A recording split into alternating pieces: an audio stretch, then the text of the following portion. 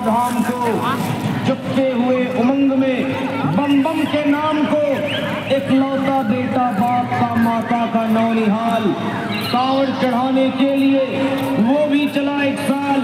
उसकी पत्नी बोली कि आपके संग मैं भी जाऊँगी। कावड़ आपके साथ में जाकर चढ़ाऊँगी। खुशियों में झूमते हुए वो दोनों चल पड़े। भोले को जल चढ़ाने के लिए सुल्तानगंज में पहुंचकर जहाँ से जल भरा जाता है गंगा के किनारे खुश होके देखने लगे मेले के नजारे।